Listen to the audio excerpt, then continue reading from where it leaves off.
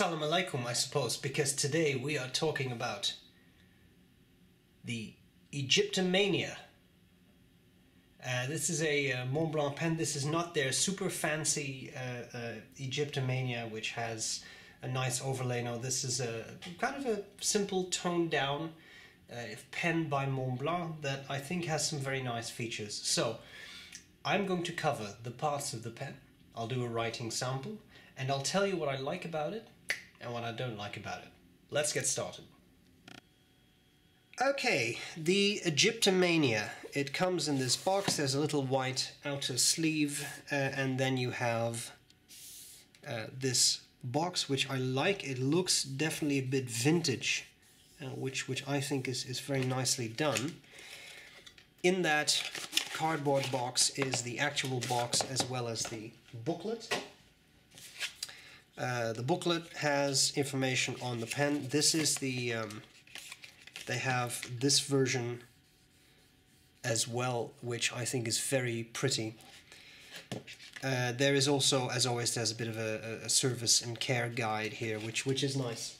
It's a piston filler, so it's nice to, to explain to people how to take care of it. We have the box, the simple uh, sort of clamshell box, right? Okay, let's talk about the pen. I'll zoom in a bit here we have the pen, it's made of precious resin. And here we have a Pilot Metropolitan, just for size comparison you see that they're not very different in size. This is a, a somewhat skinnier Montblanc. If we compare it to this great characters Elvis Presley by the same brand, then you see what I mean. It's, it's quite um, a bit, bit skinnier. Okay, so this is an octagonal pen like the Montblancs from the 1920s, um, which some of them actually included Egyptian engravings. Think of the Rouge et Noir, the original Rouge et Noir.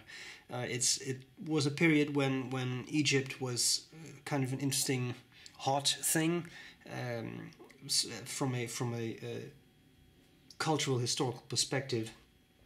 So Montblanc kind of went back to those roots of the 1920s and came up with this particular model. So, there are a couple of things about this pen that I think are really nicely designed. It definitely looks vintage because of the way they made the, the clip and the finial look. So the finial actually is not white for once, which is quite interesting. Uh, and then you have the clip, which has a little scarab at the end. Um, the scarab is not arbitrary because it's a symbol for the human heart and immorality. Sorry.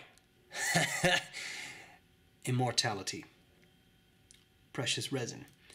Now, um, we continue the barrel straight down. We have the piston turning knob. It is an extra fine uh, nib.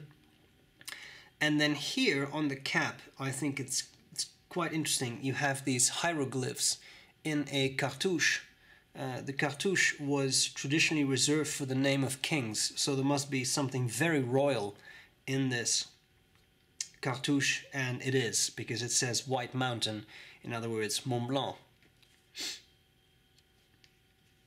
Yeah. Moving on, we have the section, uh, which is quite nice. Uh, it has a, a uh, I was going to say, I, had, I hadn't even noticed it before, um, but there is a bit of tape there, which undoubtedly is to keep that section pristine. I'm sorry, I, I, I really hadn't noticed. Interesting. I've been writing with it, but I hadn't I hadn't noticed that. It's just when the light strikes it like this. Anyway, I will leave that on because this is just a loaner.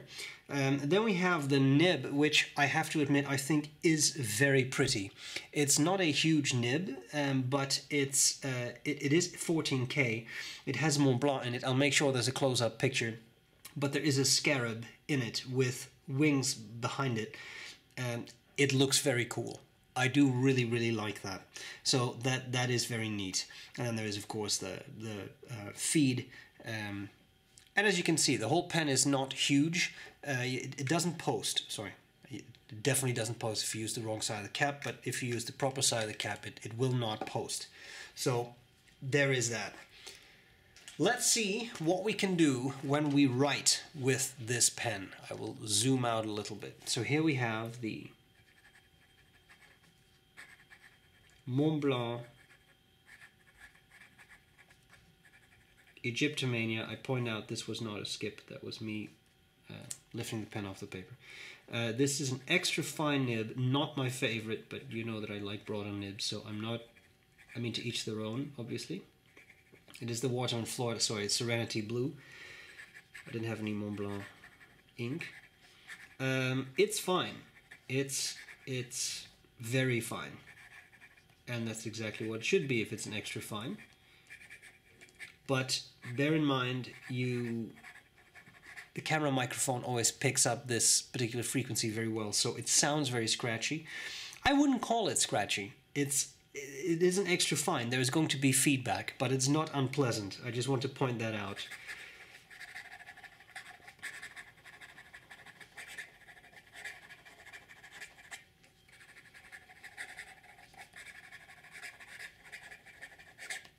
Yeah, very interesting. Um, for a nib that is this fine, I find it relatively wet, which is nice. It's a, it's a pleasant writer.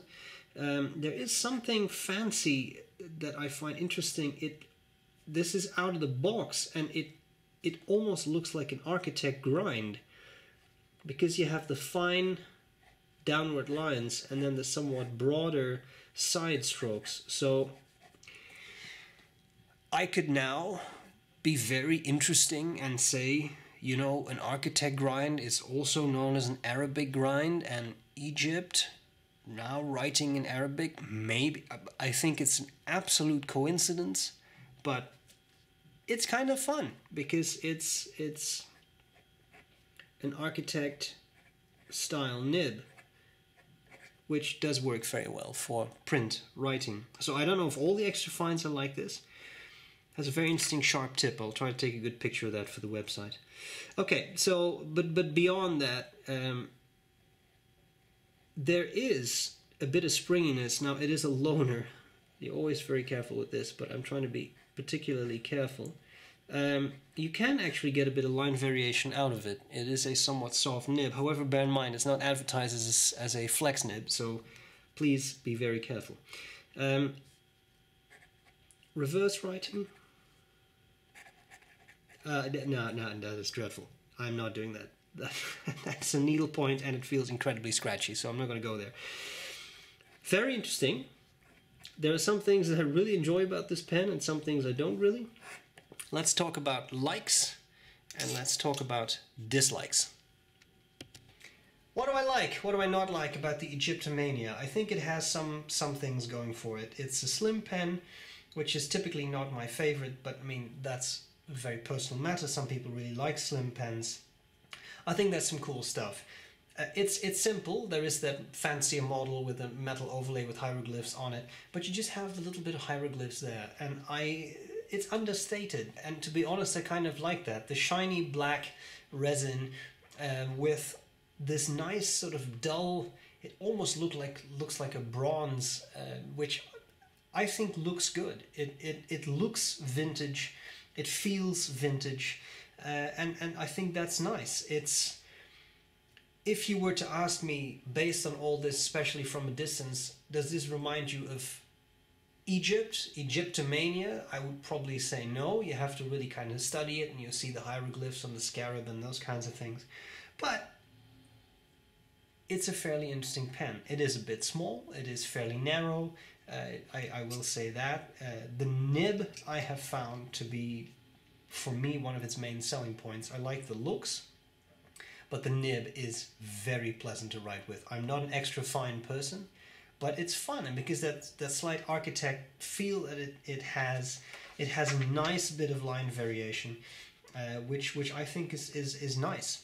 It's not cheap, $820 at Appelboom. That's about 690 euros without the 21% VAT. So it's it's an expensive pen, but it's a Montblanc, and it's a it's a special Montblanc. You know that that will uh, you will pay for that, whether that's the the value is fully there or not. That's up for you to decide. I will say it's a nice pen, piston filler, good writer, and that's typically I think what most of us would buy a pen for. And if you have a particular affinity with Egypt, it's a very collectible, you know, Egyptian artwork and such, then absolutely this would be a very cool addition to, to any collection, I think. So I enjoy it. I think it's a nice pen. Uh, I thank Appelboom for lending me this pen. I appreciate it. I hope this was useful, and um, I'll gladly see you later. Bye bye.